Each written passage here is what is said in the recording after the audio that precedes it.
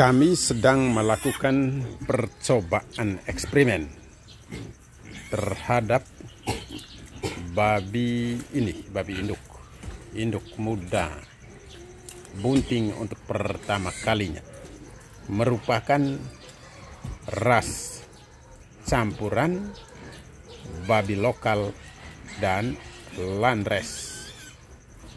Kita perhatikan tubuhnya bulat pendek, bullpen, tidak terlalu panjang. Ya lebih kurang hampir satu meter panjangnya.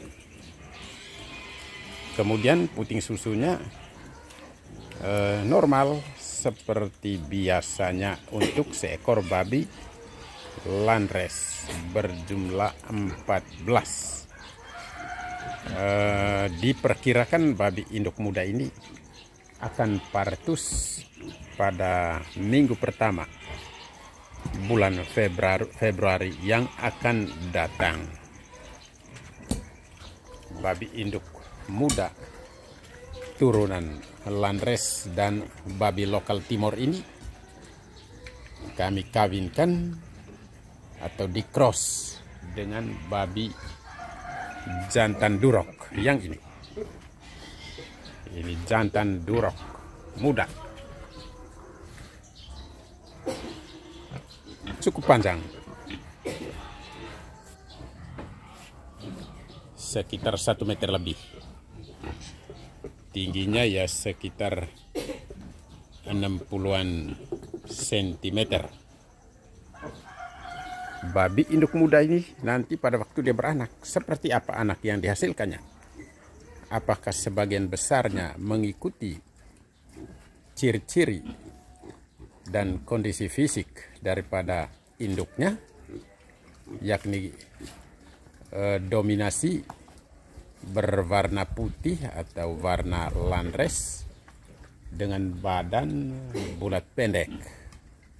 Telinga membesar agak menggantung dengan putih susu ya sejumlah 14 ataukah nanti babi anak yang dihasilkannya mengikuti ayah mereka.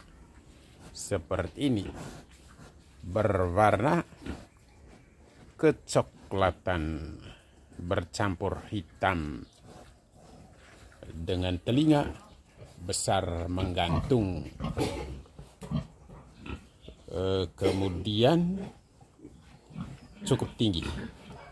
Ataukah nanti anak yang dihasilkan merupakan campuran dari keduanya.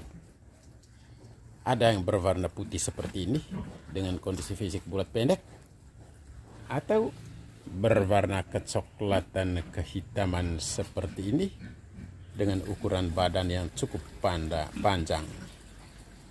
Atau juga nanti siapa tahu anak daripada babi ini eh, tidak satu ekor pun atau sebagiannya justru mengikuti ciri-ciri eh, dari ras yang lain bukan mengikuti ciri atau eh, kondisi tampilan kondisi fisik dari induk mereka atau dari ayah mereka. Yang jelas kita belum tahu.